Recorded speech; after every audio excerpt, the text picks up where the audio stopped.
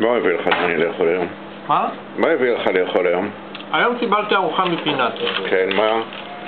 מה יש בפינתי לאכול? שניצל. עוד פעם שניצל?